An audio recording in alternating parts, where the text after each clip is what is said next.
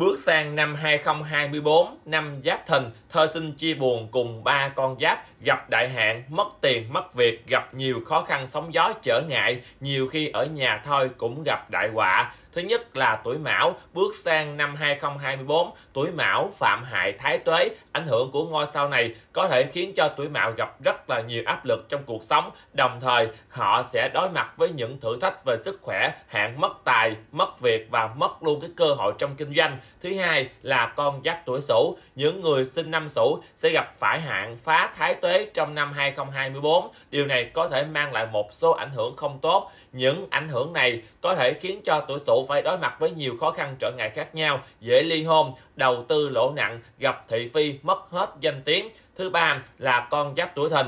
Đây được coi là con giáp gặp đại hạn nặng nhất trong năm 2024 vì vừa gặp hạn tam tai, vừa gặp hạn thái tuế, tránh đầu tư lớn, dễ gặp nhiều biến động trong cuộc sống, mất lộc, gia đình chia rẽ, kết quả trong công việc không được như ý muốn. Những con giáp này cực kỳ là xui để hỗ trợ vận may, hỗ trợ tam tai thái tuế thì các bạn nên hỗ trợ trong nhà của mình một bắp cải như ý tài lộc nhé. Chúc các bạn may mắn lộc tài.